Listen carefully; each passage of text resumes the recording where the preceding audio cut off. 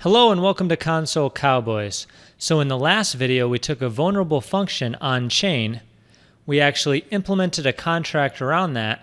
We got it working with a newer version of Solidity. We exploited that vulnerability, and now we're going to take a look at how to fix that vulnerability. While this isn't a defensive course by nature, I do want to show fixes to some vulnerabilities so that you realize there are industry standard security libraries for smart contracts. In this case, we're going to take a look at the OpenZeppelin libraries. We can easily implement this by using an import line under the Pragma Solidity line. So what we're going to do is import double quotes and we'll paste in a library URL. So this is just the GitHub for OpenZeppelin. They have a bunch of different libraries we can use. You'll actually find this URL within the blog, so feel free to copy paste it, put a semicolon at the end, and one very, very interesting thing is if we go back to the File Explorers tab before we save it and we hit save, you'll notice that it imported it for us. So here's the OpenZeppelin library, and here's its contracts, and then a math contracts, and it just imported the one that we actually need. Inside of this file is actually different mathematical function wrappers that will protect us from overflow errors.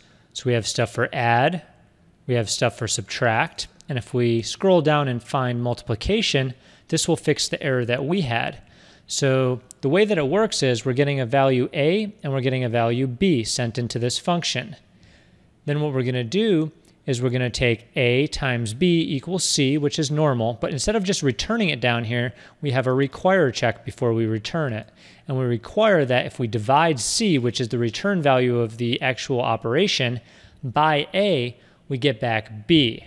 Now, if C was overflowed and it's a value that makes no sense anymore, and we divide it by A, we're definitely not going to get B again, so this will actually fail and let us know that we had an issue. So it's really nice to have all these functions that we can just wrap around our mathematical operations and know that it's going to work. These libraries have been looked at by a lot of people, and they should be okay. So now we're going to implement these into our contract and fix everywhere that there's math. If we take a look at that, we have a few different places. we have multiplication here. We have subtraction, which is where we removed it before. And we also have that addition. So what we want to do is we want to update all of those values to make sure that there's no overflows in there. So let's do that now.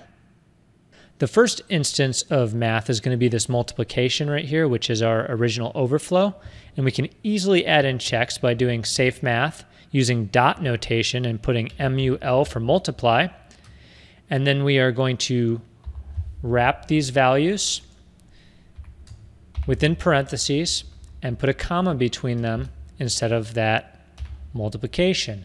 So now we're going to send these values into the safe math function. And we're going to do the same thing down here with the other ones that we modified earlier, just so that all of the mathematical functions in our program are protected. So this is a subtraction. So we're going to do safe math, wrap that in parentheses.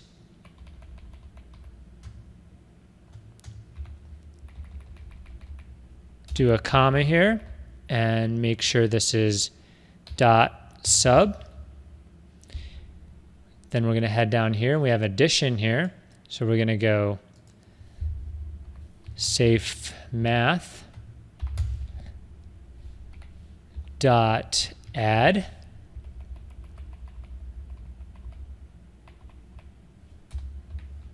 Remove that, put a comma, and then wrap that in parentheses. We're going to hit save.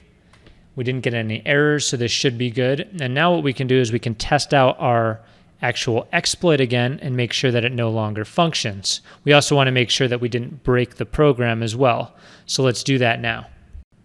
So let's compile this again. Compile, and then let's deploy it. So we're back here, JavaScript VM, good to go. We have our BEC target. We're going to delete any previous ones, and we're going to hit deploy. All right, perfect. So we're going to add 2000 wei. And we're going to hit deposit, which should show our balance here. And this was actually on our second one, but that doesn't matter. So we'll check that our first one doesn't have a balance. Should be a balance of zero. Okay, perfect. Now let's do our batch transfer, which is on our second account. So what we're going to do is put in our array. And we're going to have to use the first account.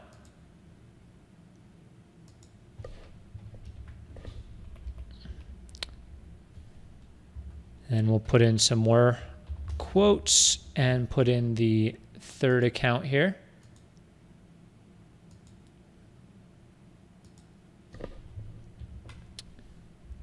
And then let's first put a normal value in here. So we have 2,000 wei, so let's just send our 100 again. And let's make sure we're in the account where we actually have a balance. We'll double check that here. Yep, we have a balance of 2,000. So let's try our batch transfer. Okay, so our balance is 1800 now, and one of these here should be 100. Okay, perfect. This other one should be 100. Yep, it is. So everything's functioning. We didn't actually break anything, but now what we're going to do is test the vulnerability and make sure that our safe math functions catch the overflow and say, hey, you can't do that. So we're going to head back to our second account again, which has the 1800 balance, and we're going to add in that very, very large value again. So let's copy paste that. Copy,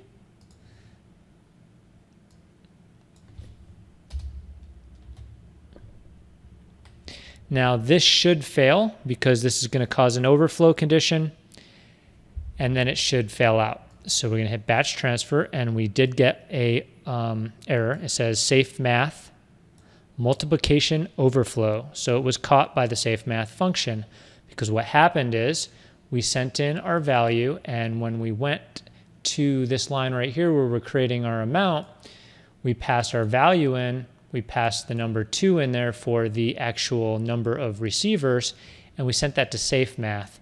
When SafeMath actually tried to do the multiplication, and you know it hopped back into here, and it was like, hey, our value C after this multiplication, if we divide that by A, which is our initial value that we sent in, does that equal B? And no, actually it doesn't because zero divided by that large number does not equal B. So therefore, we fixed our vulnerability and we learned how to, you know, import a safe math library and work with it. It's pretty easy. There's a lot of different libraries within OpenZeppelin, so I suggest you explore those on your own and see what other functionality is in there that you can use. We will look a little bit more at OpenZeppelin, especially during authorization where we check out stuff like role-based authentication. But until then, I hope you're enjoying this series so far. If you are, please like the video and share it out to your social media for other people who may be interested. In the next section, we're going to take a look at reentrancy where we learn how to use malicious contracts with recursive loops in order to liquidate the funds within a contract. Until then, I hope you have a good week and I'll see you there.